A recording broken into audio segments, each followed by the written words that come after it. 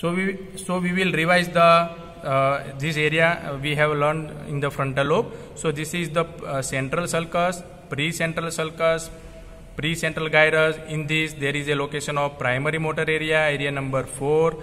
This is superior, middle, inferior frontal gyrus.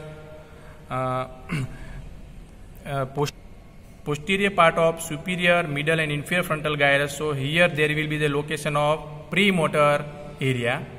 Now in the middle frontal gyrus in the posterior part there is a location of frontal eye field. Now in this we have seen the inferior frontal gyrus.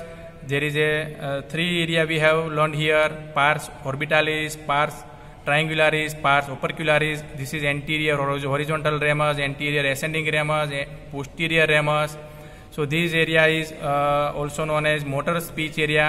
Area area number 45 that is pars triangularis. Area number 44 that is pars opercularis. Motor speech area, Broca's area. This is supplementary motor area in the medial frontal gyrus and one more area is remaining that is prefrontal area. So uh, area rostral to the mm, uh, primary and premotor area. So this area is prefrontal area. So now we will see in the book the, this area.